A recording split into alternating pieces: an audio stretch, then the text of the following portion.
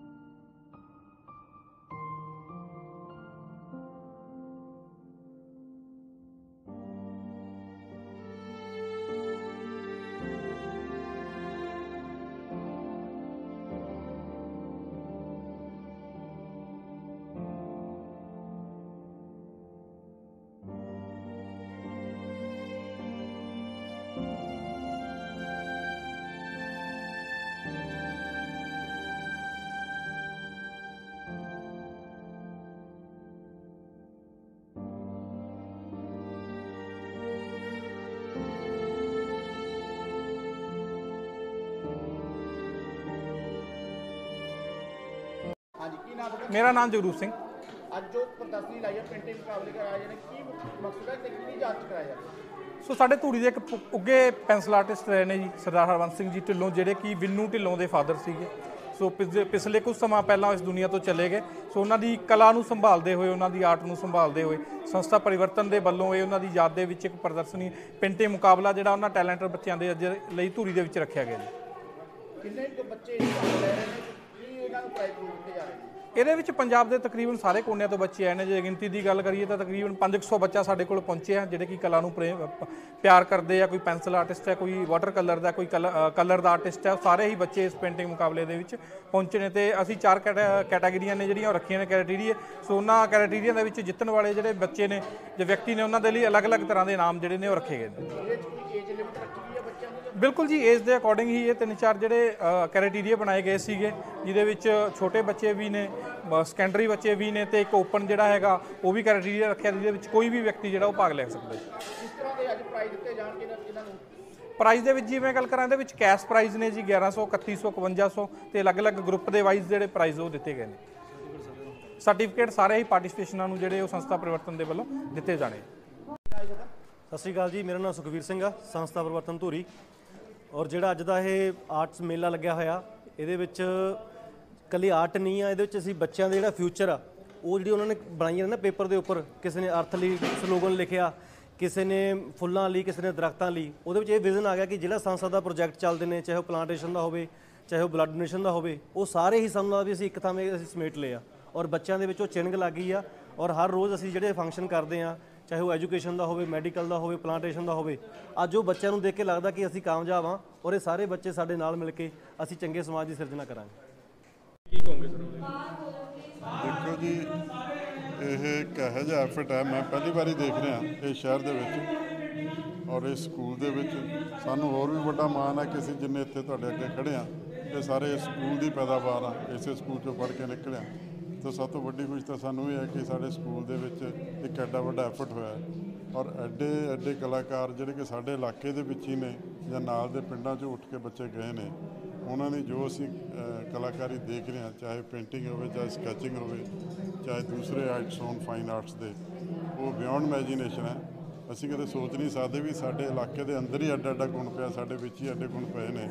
ਇਹ ਬਹੁਤ ਵੱਡਾ ਉਪਰਾਲਾ ਪਰਿਵਰਤਨ ਦਾ। ਕਿ ਇਹਨਾਂ ਲੋਕਾਂ ਨੂੰ ਅੱਗੇ ਲਿਆਉਣਾ ਤੇ ਲੋਕਾਂ ਤੱਕ ਇਹਨਾਂ ਦੀ ਕਲਾ ਨੂੰ ਪਹੁੰਚਾਉਣਾ।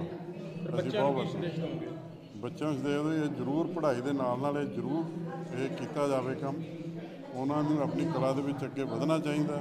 ਇਹ ਜਿਹੜੀ ਕੋਸ਼ਿਸ਼ ਹੈ ਦਰਅਸਲ ਬੱਚਿਆਂ ਨੂੰ ਇਸ ਅੱਗੇ ਵਧਾਉਣ ਦੀ ਕੋਸ਼ਿਸ਼ ਹੈ ਕਿ ਬੱਚੇ ਉਤਸ਼ਾਹਤ ਹੋਣ ਉਹਨਾਂ ਦੀ ਕਲਾ ਦੀ ਐਪਰੀਸੀਏਸ਼ਨ ਹੋਵੇ ਤੇ ਉਹ ਇਸ ਨੂੰ ਇੱਕ ਸਾਈਡ ਕੰਮ ਨਾ ਸਮਝਣ। ਇੱਕ ਤਰ੍ਹਾਂ ਦਾ ਇਹ ਵੀ ਸਬਜੈਕਟ ਹੀ ਹੈ। ਦੂਸਰੀ ਪੜ੍ਹਾਈ ਦੇ ਨਾਲ ਨਾਲ ਇਹ ਵੀ ਪੜ੍ਹਾਈ ਹੈ। ਬਟ ਇਹ ਇੱਕ ਗੁਣ ਬਣ ਜਾਂਦੀ ਹੈ ਪੜ੍ਹਾਈ ਦੇ ਨਾਲ। ਬਹੁਤ ਹੀ ਵਧੀਆ ਉਪਰਾਲਾ My name is Kamalneer Kaur. I'm from uh, Patiala. But basically ਮੈਂ right now uh, job ਕਰ ਰਹੀ ਹਾਂ ਅਕਾਲ ਅਕੈਡਮੀ ਚੀਮਾ ਸਾਹਿਬ ਤੋਂ ਮੈਡਮ ਜਿਹੜੀ ਅੱਜ ਪ੍ਰਦਰਸ਼ਨੀ ਲਗਾਈ ਗਈ ਹੈ ਪ੍ਰਦਰਸ਼ਨ ਵੱਲੋਂ ਕੀ ਕਹੋਗੇ ਮੈਂ ਮੈਂ ਕਹਿੰਦੀ ਹਾਂ ਇਸ ਪਰਿਵਰਤਨ ਦੇ ਨਾਲ ਮਤਲਬ ਜੋ ਛੋਟੇ ਤੋਂ ਲੈ ਕੇ ਵੱਡੇ ਤੱਕ ਦੇ ਬੱਚੇ ਨੂੰ ਇੰਨਾ ਕੁਝ ਸਿੱਖਣ ਨੂੰ ਮਿਲ ਰਿਹਾ ਹੈ ਰਿਪਰੈਜ਼ੈਂਟ ਕਰਨ ਨੂੰ ਮਿਲ ਰਿਹਾ ਹੈ। ਜ਼ਿੰ- ਜ਼ਿੰਦਗੀ ਦੇ ਵਿੱਚ ਮਤਲਬ ਜੇ ਤੁਸੀਂ ਇਸ ਚੀਜ਼ ਨੂੰ ਅੱਗੇ ਵਧਾਉਣਾ ਚਾਹੁੰਦੇ ਹੋ, ਤਾਂ ਇੱਕ ਬੇਸਿਕਲੀ ਪੁਆਇੰਟ ਤੇ ਆਪਣਾ ਹਮੇਸ਼ਾ ਇੱਕ ਲਕਸ਼ ਬਣਾ ਕੇ ਚੱਲੋ ਕਿ ਜਿਸ ਦੇ ਵਿੱਚ ਤੁਸੀਂ ਹਮੇਸ਼ਾ ਇੰਪਰੂਵ ਕਰੋ। ਕਹਿੰਦੇ ਨੇ ਨਾ ਇੱਕ ਵਨ ਥਿੰਗ ਵਨ ਥਿੰਗ ਨੂੰ ਹਮੇਸ਼ਾ ਇੱਕ ਪਰਫੈਕਟਲੀ ਵਰਕ ਦੇ ਵਿੱਚ ਤੁਸੀਂ ਇਸ ਚੀਜ਼ ਨੂੰ ਜ਼ਰੂਰ ਕਰੋ ਤੇ ਇਸ ਦੇ ਵਿੱਚ ਆਪਣਾ ਸਫਲਤਾ ਪ੍ਰਾਪਤ ਕਰੋ। ਕੀ ਨਾਂ ਜੀ ਤੁਹਾਡਾ ਮੇਰਾ ਨਾਮ ਕਮਲਦੀਪ ਸਿੰਘ ਹੈ ਜੀ। ਮੈਂ ਈਟੀਟੀ ਅਧਿਆਪਕ ਹਾਂ।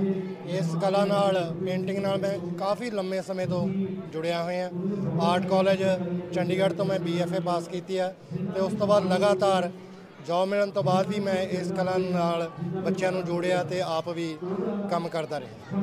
ਅੱਜ ਤੁਹਾਡਾ ਇੱਥੇ ਸਨਮਾਨ ਕੀਤਾ ਗਿਆ। ਕੀ ਕਹਿਣਾ ਚਾਹੁੰਦੇ ਤੇ ਕਿਉਂ ਕੀਤਾ ਗਿਆ ਬੜੀ ਬੜਾ ਵਧੀਆ ਉਪਰਾਲਾ ਆਪਣੇ ਪਰਿਵਰਤਨ ਸੰਸਥਾ ਦਾ ਕਿ ਕਲਾ ਨੂੰ ਅੱਗੇ ਲੈ ਕੇ ਆ ਰਹੇ ਨੇ। ਪਿਛਲੇ ਕੁਝ ਸਮੇਂ ਤੋਂ ਇਸ ਸੰਸਥਾ ਨਾਲ ਮੇਰੇ, ਮੇਰਾ ਰਾਬਤਾ ਰਿਹਾ। ਤੇ ਉਹਨਾਂ ਨੇ ਮੇਰਾ ਕੰਮ ਦੇਖਿਆ ਜਾਂ ਜੋ ਮੈਂ ਸਕੂਲਾਂ ਦੇ ਵਿੱਚ ਕੀਤਾ ਜਾਂ ਬੱਚਿਆਂ ਨੂੰ ਅੱਗੇ ਪਾਰਟਿਸਿਪੇਟਸ ਕਰਾਇਆ ਜਾਂ ਲਗਾਤਾਰ ਜਿਹੜਾ ਮੈਂ ਇਸ ਕਲਾ ਨਾਲ ਜੁੜਿਆ ਹੋਇਆ ਪੇਂਟਿੰਗ ਦੇ ਨਾਲ ਖਾਸ ਤੌਰ ਤੇ। ਇਸ ਕਰਕੇ ਮੈਨੂੰ ਲੱਗਦਾ ਸ਼ਾਇਦ ਉਹਨਾਂ ਨੇ ਮੈਨੂੰ ਇਸ ਦੇ ਕਾਬਿਲ ਸਮਝਿਆ। ਮੈਂ ਬੜਾ ਸ਼ੁਕਰਗੁਜ਼ਾਰ ਹਾਂ, ਧੰਨਵਾਦ ਕਰਦਾ ਉਹਨਾਂ ਦਾ। ਬੜਾ ਵੱਡਾ ਉਪਰਾਲਾ ਹੈ ਉਹਨਾਂ ਦਾ। ਕਿੰਨੇ ਸਮੇਂ ਤੋਂ ਤੁਸੀਂ ਇਸ ਇਸ ਨਾਲ ਜੁੜੇ ਹੋਏ ਹੋ ਜੀ? ਹਾਂਜੀ? ਕਿੰਨੇ ਸਮੇਂ ਤੋਂ ਜੁੜੇ ਹੋਏ ਹੋ ਤੁਸੀਂ? ਇਸ ਕਲਾ ਨਾਲ ਮੈਂ ਘੱਟੋ ਘੱਟ 35 ਸਾਲਾਂ ਤੋਂ ਜੁੜਿਆ ਹੋਇਆ ਜੀ। ਸਕੂਲ ਦੇ 10ਵੀਂ ਤੋਂ ਮੈਂ 10ਵੀਂ ਕਲਾਸ ਤੋਂ ਸ਼ੁਰੂ ਕਰਤੀ ਸੀ। ਉਸ ਤੋਂ ਬਾਅਦ ਸ਼ੌਕ ਸੀਗਾ ਹੌਲੀ ਹੌਲੀ ਵੱਧਦਾ ਗਿਆ। ਆਰਟ ਕਾਲਜ 'ਚ ਦਾਖਲਾ ਲਿਆ ਕਲਾ ਦੀਆਂ ਬਾਰੀਕੀਆਂ ਨੂੰ ਸਿੱਖਿਆ। ਉਸ ਤੋਂ ਬਾਅਦ ਜੌਬ 'ਚ ਆਉਣ ਤੋਂ ਬਾਅਦ ਵੀ ਮੈਂ ਮਤਲਬ ਇਸ ਨੂੰ ਛੱਡਿਆ ਨਹੀਂ। ਜਿਹਦੇ ਨਾਲ ਲਗਾਤਾਰ ਆਇਲ ਪੇਂਟਿੰਗਸ ਪੋਰਟਰੇਟਸ ਕਰਦਾ ਰਿਹਾ। ਬੱਚਿਆਂ ਨੂੰ ਕੀ ਸੰਦੇਸ਼ ਦਿਓਗੇ ਸਰ ਅੱਜ ਦੇ ਦਿਨ? ਬੱਚਿਆਂ ਨੂੰ ਤਾਂ ਇਹੀ ਸੰਦੇਸ਼ ਹੈ ਜੀ ਕਿ ਕਲਾ ਤਾਂ ਬਹੁਤ ਵ- ਵਧੀਆ ਵੱਡੀ ਚੀਜ਼ ਹੁੰਦੀ ਆ। ਇਹ ਨਾਲ ਆਪਣੇ ਜਿਹੜੇ ਐਕਸਪ੍ਰੈਸ਼ਨ ਨੇ ਉਹ ਕੱਢੇ ਜਾਂਦੇ ਨੇ। ਇੱਕ ਖਾਸ ਤੌਰ ਤੇ ਚਿੱਤਰਕਲਾ ਦਾ ਇੱਕ ਐਸਾ ਮੀਡੀਅਮ ਹੈ ਕਿ ਜਿਹੜਾ ਲੋਕਾਂ ਨੂੰ, ਇੱਕ ਵਿਜ਼ੂਅਲ ਆਰਟ ਐਸਾ ਆਰਟ ਹੈ ਕਿ ਜਿਹੜਾ ਬਹੁਤ ਛੇਤੀ ਪ੍ਰਭਾਵਿਤ ਕਰਦਾ ਹੈ। ਬੱਚਿਆਂ ਨੂੰ ਚਾਹੀਦਾ ਵੀ ਉਹ ਕਲਾ ਦੇ ਨਾਲ ਹੋਰ ਜੁੜਨ, ਸਮਝਣ ਇਸ ਚੀਜ਼ ਨੂੰ, ਇਸ ਕਿੱਤੇ ਨੂੰ ਸਮਝਣ। ਇਹਦੀਆਂ ਬਾਰੀਕੀਆਂ ਨੂੰ ਸਮਝਣ ਤੇ ਇਹਦੇ ਵਿੱਚ ਆਪਣਾ ਨਾਮ ਨਾ ਖੱਟਣ। ਮੇਰਾ ਨਾਮ ਰੋਹਿਤ ਹੈ ਜੀ। ਕਿੱਥੋਂ ਹੋ ਤੁਸੀਂ ਅੱਜ? ਮੈਂ ਪਟਿਆਲੇ ਤੋਂ ਆਇਆ ਜੀ।